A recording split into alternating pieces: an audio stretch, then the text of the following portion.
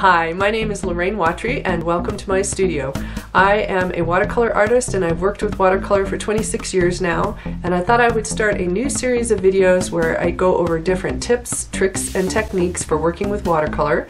And hopefully these short videos will help you in your journey and if you have a question or a technique that you would like to see, please comment below and I will try to accommodate that in a future video.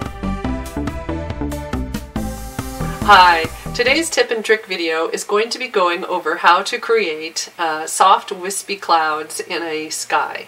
So I am going to do the wet on wet technique and wet on wet means you are painting water, clear water onto the paper and then painting color on top of it. But it can also be putting color on top of wet color.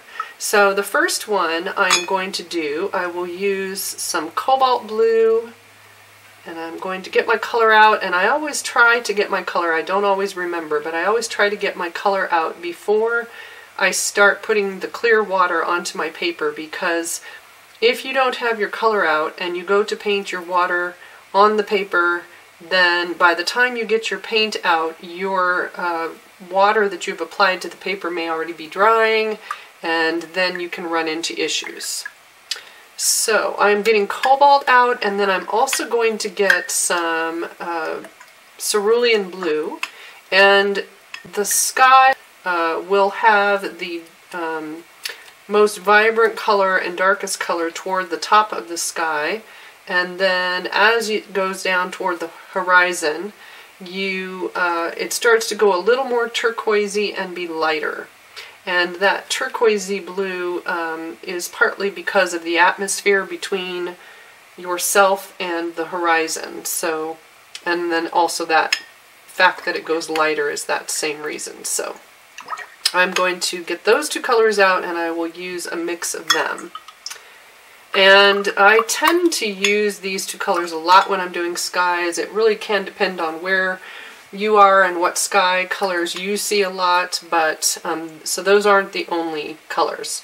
So for this technique, I'm going to put clear water over the whole sky, and I'm just going to do this whole uh, rectangle as uh, the sky. I'm not going to worry about putting any land or anything in there. And if I were actually painting a sky, I might have a few marks on the paper here and there that would give me an idea of the line of the clouds, of where I might have um, some clouds. So for this, I'm, I'm just playing right now, basically. Alright, so I've applied the water, and if it is really wet, really shiny, it is best to give it just a few seconds. And what you can do, if you think it's to the point where it's ready to paint. And I do have my board tipped, and actually I'm going to tip it just a little bit more. Um, I usually tip my board about two to three inches when I'm painting so that the paint as it's, um, the water and the paint as they're um, moving down the paper will help uh, keep the color flowing and then also it can help with um, keeping any uh, background of water. So I don't know if that you're seeing that, but it's kind of pooling. The water is down at the bottom of the paper. Um, but so having the paper tipped will keep it from um, backing up and causing, possibly causing a bloom. Okay, so I've got um, cobalt on my brush and just touching it to the paper, you can see how quickly it moves. If it moves too fast, or if you have a lot of water in your brush, one of the things you can do is just take your towel and dry the back edge of your brush and that will take enough moisture off of there that maybe you won't be putting as much on your paper and I'm just kind of watching it. I want a little bit of the shine to disperse, to disappear. I'm going to um, get a separate brush here and using a damp brush I can lift a little bit of the water at the bottom edge down here and that will help um, cause the paper to dry just a little more and uh, not hopefully cause a back run for me. Alright, so then I'm going to go back in. So now it's not moving as much. I'm going to leave some openings and I like uh, wispy clouds that have some angle to them. It just makes them feel more dramatic when you have some diagonals in your painting. And then as I go down the paper, I'm going to grab a little of the cerulean blue so that I can vary the color as I come down toward the bottom. And then I'm going to go, uh, actually I'll probably clean my brush just a little bit and get just a little water on it so that as I come down toward the bottom I can lighten the color. So that is a very quick way to do uh, clouds, wispy clouds in a sky scene.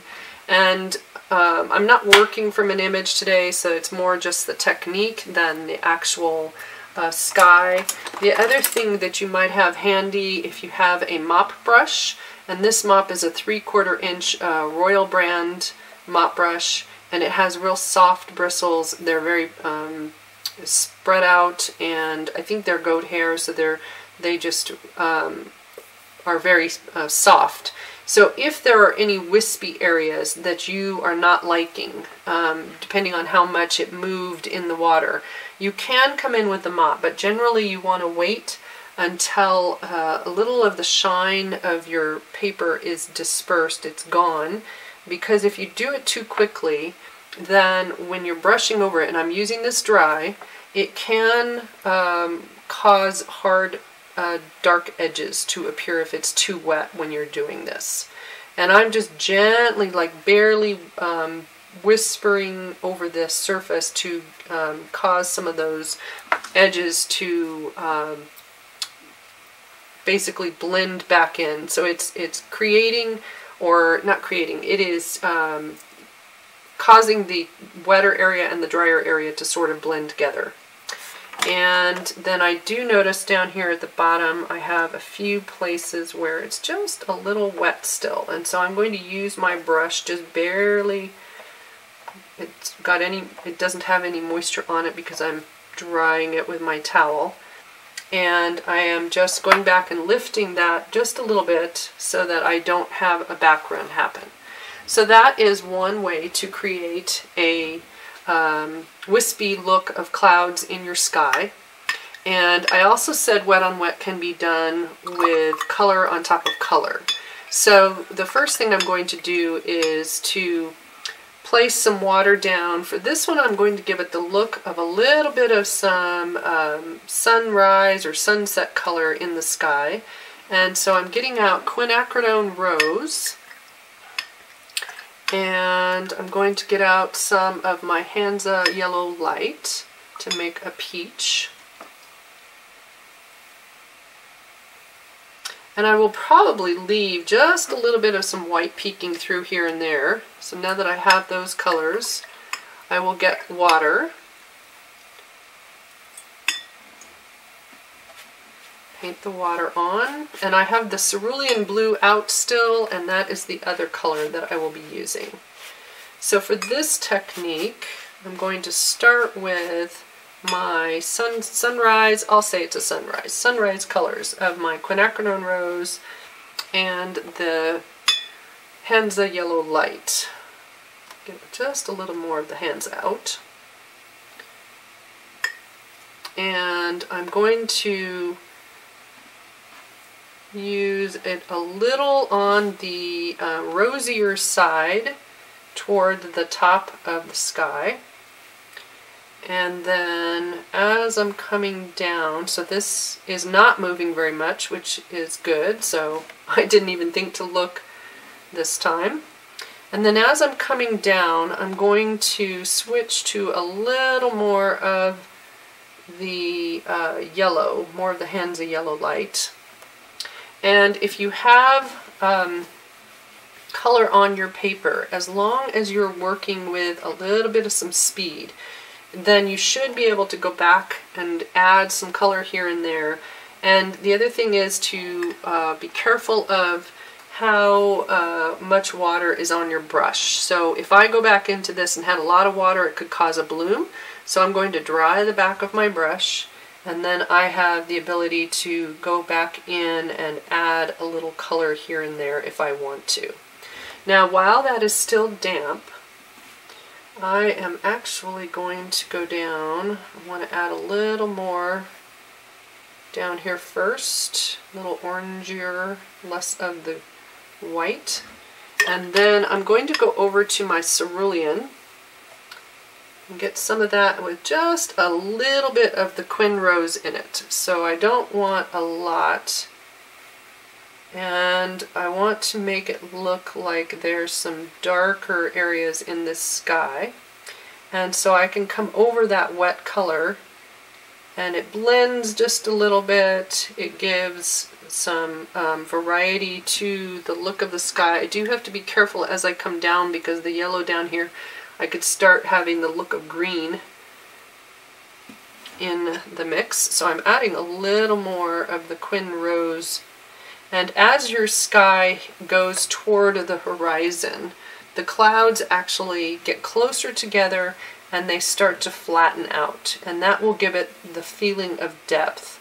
So if this were my land down here, then my clouds at the bottom should be closer together and um, flatter. They wouldn't um, have as much space between them. And I think I want to darken this upper corner just to have a little bit more um, depth in the painting.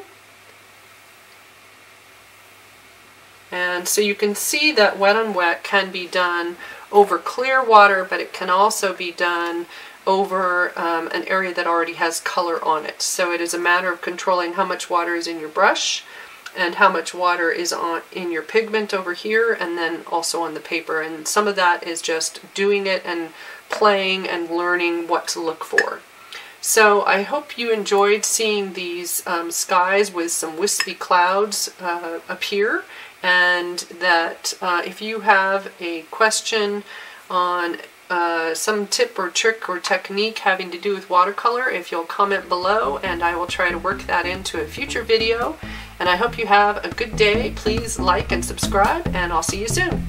Bye.